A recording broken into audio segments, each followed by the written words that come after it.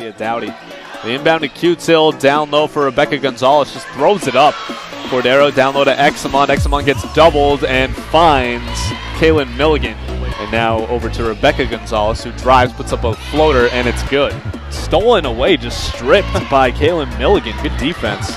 Purcell trying to go through the trees, taking it all the way to the basket and laying it in. Underneath and laying it in. Good pass. That was Rebecca Gonzalez finishing. Sometimes that'll happen. His legs get tangled up. Oh, floater in and out by Gonzalez. And Examon gets the rebound, can't finish, gets her own rebound again, and she'll get an and one foul. Examon has it outside, finds Q-Till up top. Q-Till down low to Examon, runs into Sandy Purcell, but she's just too big. It doesn't matter. 7-10 to go, third quarter. 33-32. Three from Q-Till is good.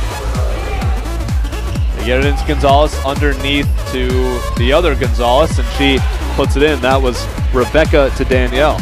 And loses the ball, and here's a fast break for Alicea Cordero, and she can't make the layup, but Examon right on the offensive glass and puts it in, and it's back to an eight-point Corsair lead. Eight minutes and 10 seconds. Outside, this is Gonzalez.